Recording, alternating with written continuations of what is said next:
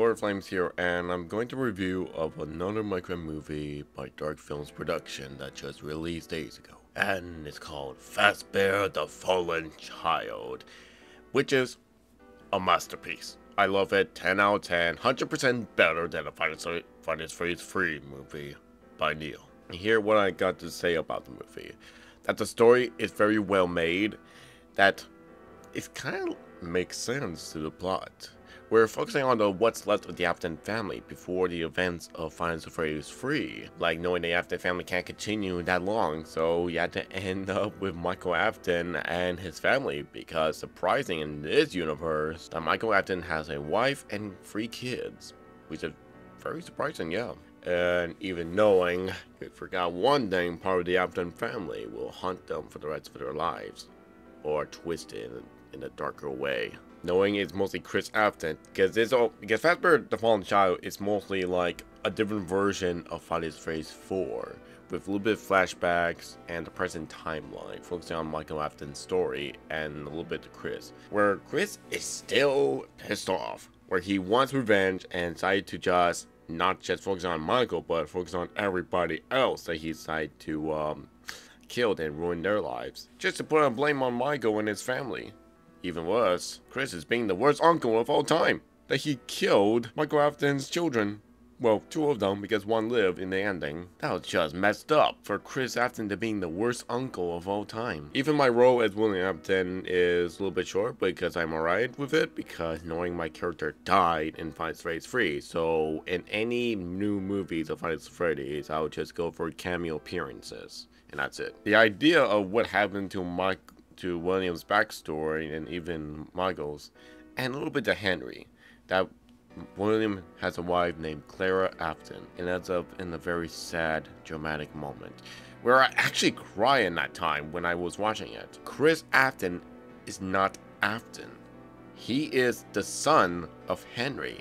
That Clara fell in love with Henry in that time, and she gave birth to the kid that's mostly connected to Henry, but she decided to have Chris as part of the Afton family. And after the bite of 83, uh, Henry um, wants Clara to get, get her out of here to move on, to do something even with their kid, but Henry, it's gotten worse to south, where Clara wants him to leave him to leave her alone, and Henry just go in a mad rage and tell her just rude things, which has made her decide to go to suicide to kill herself. Henry, how could you?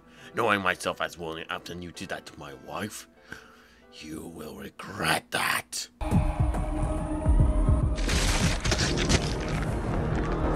But yeah, um, even surprising that the strange man during the um, this one scene where Michael uh, was exploring the abandoned house which used to be the Afton family before the bite of 83, that this strange man is casted by Mr. Herobrine X himself, where I recognize that voice this time because I didn't know it was him in the Final Fantasy 3 movie, even knowing he didn't um get to his own like the Final Fantasy 3 movie because I don't know if it's canceled or not. Maybe it is. But anyways, Michael beginning to have these strange flashbacks that are not his because Twisted Scene of the twisted plot, where it actually shows that, that William had the doctors placing parts of Chris Afton to Michael's body to have two souls in one body. Almost reminds me a little bit of the location where Ennard is part of Michael Afton's body with multiple souls in one just messed up. And now with Chris Afton, whew, that is getting worse and worse and Ennard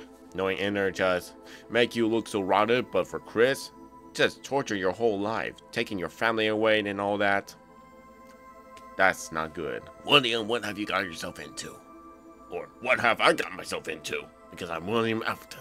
In another universe, yes. And knowing we get to the final scene of Michael Afton, or should I say Chris Afton, because Michael is no longer there. Because during that scene in the new Fredbear's Family Diner location where he somehow tried to remember memories like he tried to to do something right until some stupid security guards decided to just block their blocked his way. And it just in a rude way. And that's when Chris Afton broke its cage comes out of the darkness says take all the strings. And takes control of the body. And that's where, that part where he rips up his face of hearing the screams of Michael Afton in pain of knowing that Chris Afton is slowly killing him or just torturing him because he wanted him to stay alive so he could show him every pain he had to go through. And that's when we introduce to Chris Afton. Chris Afton is now fully in control of the body. And so, he went onto a rampage killing everybody around him. Which Chris Afton in this universe I just not be like the type of kid who wants to focus on Michael Afton, but instead he focuses on everybody. And that's when he goes to many parkours and chase scenes and whatnot, and he drives a car.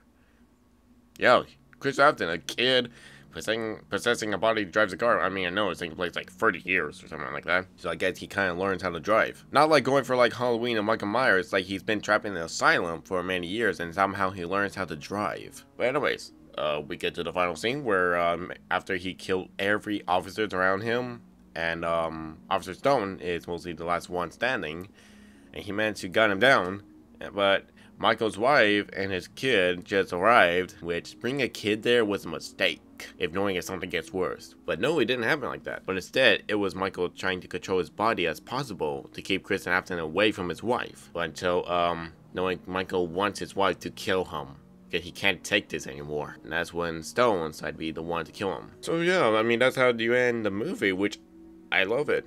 So I mean, knowing Michael Afton, the last part of the Afton family dies, but knowing the Baker's family continues to, let some of the blood of the Afton family, which is mostly the kid. So it's not like we're going to continue the story again with them. So no, because we're going to, me and Chris are going to make a sequel to Fazbear, the Fallen Child, which is not going to focus on Michael or Chris or any of those characters from the last movie. Instead, we're going to do something else, which you might figure out in your fury soon, to one of those canceled movies years ago. Anyways, I love the movie, 100% awesome, better than Five Trades Free. Now this could have been an actual third installment in Chris Vision, because that other movie was by Neil. So yeah folks, I hope you enjoyed this. If you want more, please leave a like, comment, and subscribe, and hit that notification bell to see more. This is Lord of Flames here.